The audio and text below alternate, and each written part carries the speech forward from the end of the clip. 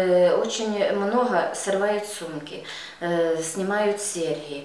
Человека могут бить, и они будут халатно стоять, смотреть на все это, но никто не заступится. Никто. Вот я вам сейчас расскажу один случай. Э, Это было в метро. У меня в самой два раза сорвали серьги.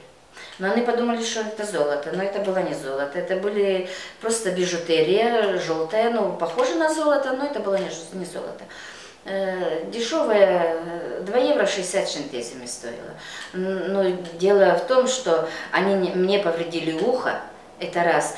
И столько много стояло сзади, подошел автобус, стояли итальянцы, и ни один, никто не пошел в заступление. Они все стояли холоднокровно, смотрели, как э, э, возле страньера, как бы можно сказать, издевается. И мне разорвали ухо. Мне болело очень долго ухо. Э, потом э, я не могла одеть сережки. И в данный момент я сейчас я боюсь одевать желтое, даже не то что золото. Я боюсь одевать желтое что-то. И вот я себе купила по евро простые и ношу.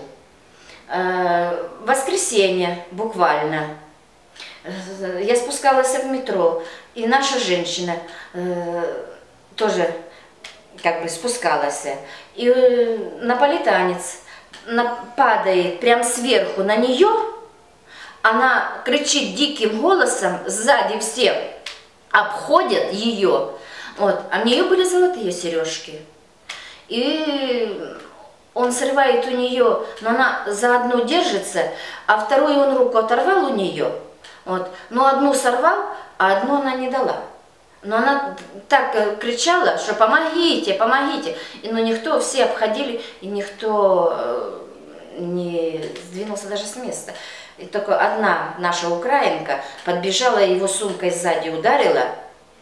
Э, Потом он убежал. Ну, это так получилось, что он убежал, а могло бы случиться совсем по-другому.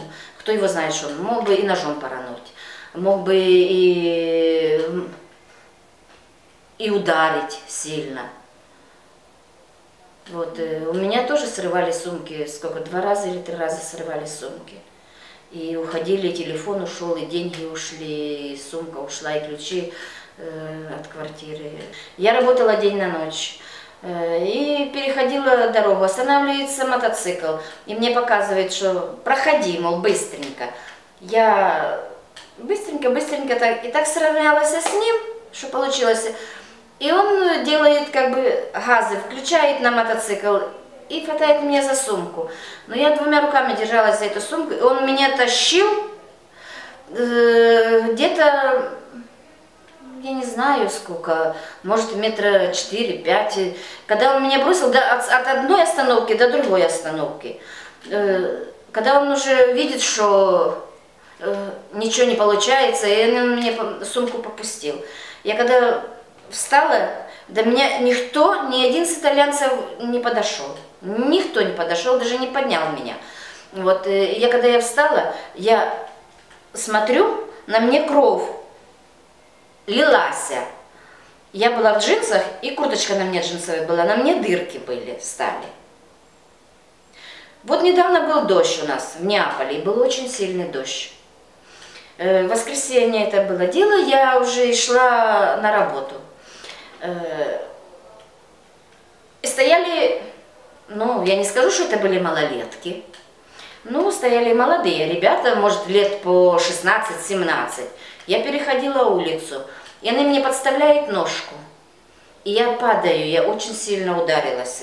Я забила себе колено, я потом не могла ходить, я хромала на ногу. Я ходила в больницу, мне делали снимок.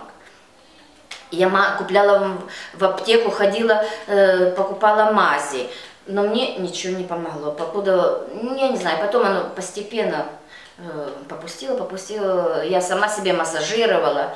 э, и вот тоже рядом бар был. С бара вышли, ну, один только, правда, мужчина подошел до меня, поднял меня, помог мне подняться, потому что я не могла даже встать. Я так сильно ударилась об асфальт. А они стоят все, улыбаются. Как вроде ничего не бывало. Поэтому у них халатность очень большая, они холоднокровные люди. Ну, а так, что на работе, вот если человек работает, да, есть многие, которые наших людей очень обманывают. Есть, что человек может проработать и не получить даже свою зарплату. Либо выгоняют, либо тот человек видит, что ничего не получается хорошего, он уходит. И уходит же обратно без денег. Не платят, должна, они должны платить тринадцатую, должны платить отпускные, должны платить э, расчетные в конце года. В Неаполе здесь ничего не платится. Это очень редко кто платит. А большинство никто не платит. На севере этого нету. На севере больше э, как-то к закону относятся, они э, нормально. Они, может, боятся больше закона, как и наполитанцы. А эти ничего не боятся. Они и так. Ну, у них на первом плане это кушать, секс и отдыхать. Вот это в них что есть на первом плане. Они, конечно, живут, а мы отживаем здесь. И очень большие трудности у наших людей есть, и не только у меня, большинство. Люди, которые приезжают, и мне жалко тех людей, которые приезжают сюда вот в первый раз, оставляют свои семьи, оставляют своих детей, э, и потом и семья распадается. Ну и все из-за чего? Из-за того, что у нас нехватка денег. Это первое. Ну, в каждого человека что-то есть свое, какие-то планы. Кто-то хочет купить квартиру, кто-то хочет э, купить машину, кто-то хочет купить новую мебель. У нас э, на Украине этого мы не можем купить. Конечно, если работать в Италии, да, мы работаем. Кто стабильно работает, тот имеет деньги. Хотя бы то, что он платит за квартиру, покупает себе проездной билет или там билеты, покупает э, кушать, ну, это то, что двигается в будни, в каждый день. А так, чтобы жить здесь, лично для меня, это все чужое, моего здесь ничего нету. И я никогда в жизни здесь не останусь, никогда. Э, ну, а тем более, что у них дебилизм – это стопроцентный дебилизм. Э, и меня это поражает. Вот самое простое. Идет на улице дождь. Одежда будет висеть, но она ее никогда не снимет сама. Она ждет Баданте, что Баданте придет и снимет эту одежду. И потом она приходит, снимает эту одежду, залаживает обратно же в машинку, как говорится, лаватриче по-ихнему, по-итальянски. И начинает обратно же эту стирку. Разве это не дебилизм? Ой, это же дебилизм, самый настоящий, это простой. Когда можно пойти самой снять это белье, сложить и повторно же его не стирать, потому что дождь прошел, дождь идет грязный, висит чистая белая постель, она встает грязной, она будет все равно телепаться, покуда не придет человек, который работает и, и снимет это все. И потом она снимает и ложит обратно в лаватричи и по новой это все стирает. Что стоит мусор они никогда его не вынесут, они ждут человека, который придет до них на работу и вынесет этот мусор. Он будет стоять в субботу, этот мусор, он будет стоять в воскресенье, вонь на всю э, хату или где-то на балконе, что потекло оттуда во все. Но она его не вынесет. Разве это не дебилизм? Это настоящий дебилизм. Когда его можно вынести, выбросить и не будет вонять. Вот ихняя молодежь, она беспардонная.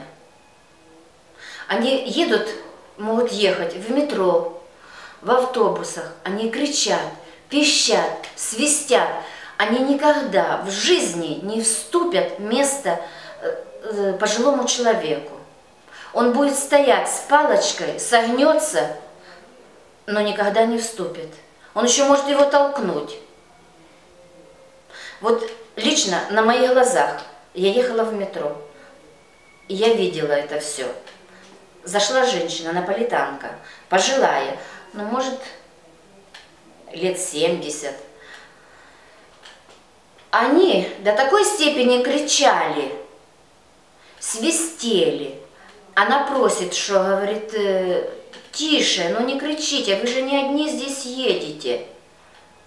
И что вы думали? Останавливается в метро, открывается дверь, и они ее выталкивают с этого метро. И она падает. Никто не подошел, ее не поднял. Двери закрылись, метро уехала, она осталась на этой остановке, что, может быть, она ей не нужна. Но они ее вытолкали. У них нету совести в молодежи. На них называют скостумати. Это по-русски невоспитанность, а по-итальянски скостумат. Они невоспитанные. Они хорошие. Они хорошие.